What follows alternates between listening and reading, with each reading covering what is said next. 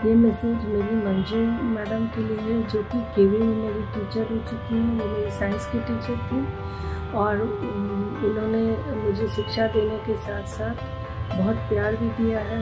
बहुत बार उनके हाथों से खाना खाने का मौका मिला और वो बहुत प्यार करती थी। आज भी मैं उनसे बहुत प्यार करती हूँ। हाल पिछले साल उनसे मिलने का मौका भी मिला और मैं चाहती हूँ कि उनका प्यार असली मुझ पर यूँ ही बरसता रहे।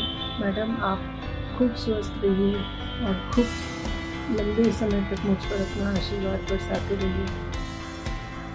हेलो बेटा। मैं तुमको बहुत प्यार करती हूँ बेटा। तेरा तुम लोगों ने मुझे इतना सम्मान दिया, इज़्ज़त दी तुम।